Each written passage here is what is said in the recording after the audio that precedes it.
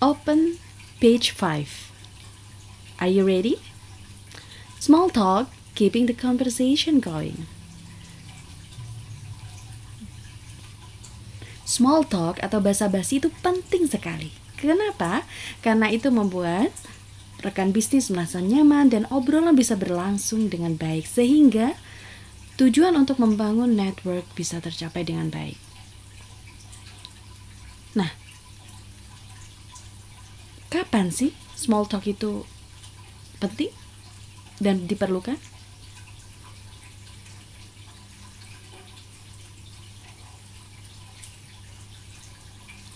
Nah, kapan sih small talk itu diperlukan? Di sini, at the beginning of a meeting, welcoming a visitor. Small talk atau basa-basi atau ngobrol ngalor gitu itu diperlukan ketika kita menyambut tamu. Itu penting sekali. Ketika kita hanya diam saja, tamu tidak akan merasa tersambut dengan baik. Sehingga kita perlu keluar dari zona nyaman kita, kita berusaha untuk mencari ide-ide bagaimana memulai pembicaraan dengan baik sehingga obrolan bisa tetap going, tetap berlanjut. Lalu kapan lagi kita memerlukan uh, small talk? Yaitu at other moments in a business relationship. Jadi setiap hubungan-hubungan bisnis selalu diperlukan. Misalnya ya, during breaks, saat istirahat, meals, saat makan siang, makan malam, social occasion, kegiatan sosial, evenings, saat kegiatan malam atau moving from one place to another atau dari pindah dari satu ke tempat ke tempat lain itu diperlukan tuh small talk agar kita merasa bahwa hubungan bisa terjalin dengan baik.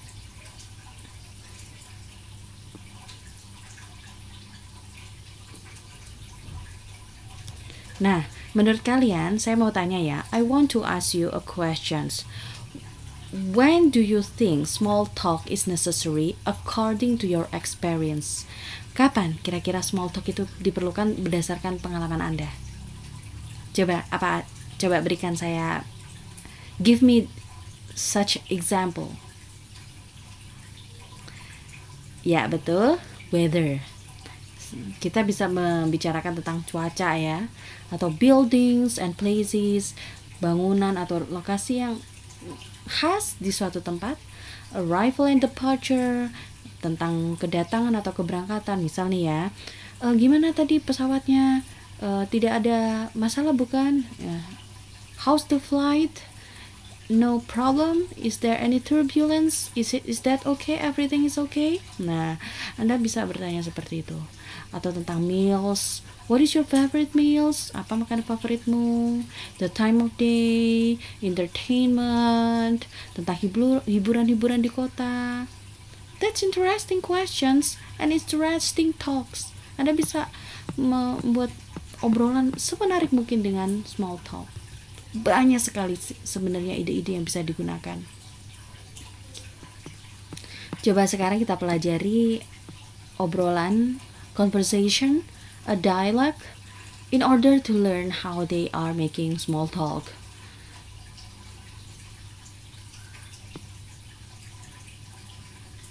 Sekarang kita pelajari ya dialog ini agar kita bisa belajar tentang small talk. Bagaimana karakter Peter and Janice are back and forth discussing about their experiences while making small talk. Nah, ini Peter ya. Have you been to Edinburgh before? Jadi si Peter ini mulai membuat small talk, ngobrol, memulai pembicaraan. Pinter nih dia. Dia bisa membuat suasana menjadi cair. Oh, pernah ke Edinburgh sebelumnya? And Janice, serupanya Janice ini adalah sang tamu ya. No, it's my first visit. Oh, bu, enggak, ini saya belum pernah ke Edinburgh. Ini kunjungan pertama saya. Lalu Peter bilang, Well, I hope you like it. Ya, saya harap kamu suka ya datang ke sini. Janice jawab, I'm sure I will. Ya, tentu saja. Aku pasti senang ke sini. Aku senang berkunjung di sini. Lalu Peter menjawab, And uh, is the hotel alright? Oh ya, gimana hotelnya? Bebek aja kan? Fine-fine aja kan? Oh yes, it's very comfortable. Oh ya, sangat nyaman. Peter menjawab, That's good. oh bagus bagus kalau begitu nah jadi ada sebuah obrolan yang menarik sehingga membuat situasi dan suasana cair so do you have much time here in Scotland? Are you staying long? Oh iya kak uh, ada rencana untuk ke sini lama atau gimana? Punya planning lama tinggal di sini? Lalu Jenis menjawab no I have to go back tomorrow afternoon. Aduh enggak. Saya besok harus pulang nih besok sore. Lalu Peter membalas Oh, that's a pity. There's such a lot to see. You'll have to come back again. Waduh, sayang sekali ya. Padahal banyak loh yang bisa dilihat-lihat. Kapan-kapan ke sini lagi ya. Nah, ada kalimat seperti ini. You'll have to come back again. Kapan-kapan ke sini lagi ya. Kapan-kapan ke sini lagi. Lalu Janice menjawab, Yes, I'd love to. Oh, tentu saja. Gitu. Peter merespon, So what's time your flight tomorrow? Nih pinternya si Peter adalah ketika dia selalu mencari bahan obrolan agar tetap conversation keep going. Bagaimana dengan uh, pesawatnya besok? Early evening, 1835. Ya awal malam sih agak-agak malam dini gitu jam setengah tujuh malam well I can book you a taxi if you like to get you there in a good time. Saya bisa bantu loh untuk pesan taksi biar kamu bisa tepat waktu. Nah, to get you there in a good time agar um, kamu bisa datang tepat waktu. That's very kind. Thank you. Oh terima kasih ya. Baik sekali. That's very kind. Lalu jawab Peter, no problem at all. Was it a good flight today? Oh, nggak apa-apa. Gimana pesawat semalam? No, it was a, uh, but apa lancar-lancar aja kan. Nah, was it a good flight today? Gimana tadi apa uh, perjalanannya lancar bukan? Maksudnya di sini flight berarti perjalanan naik pesawat ya. No, it wasn't actually. enggak, enggak juga Oh dear, I'm sorry to hear that.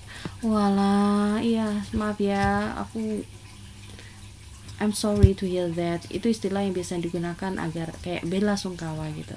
Karena atas pengalaman yang tidak menyenangkan yang dialami. Lalu Janice menjawab, It was raining quite hard. There was a lot of turbulence. Iya, hujan deras sehingga pesawat bergoncang. Hmm, I hope you didn't feel too bad saya harap kamu tidak merasa uh, lelah ya dan tidak merasa pengalaman buruk.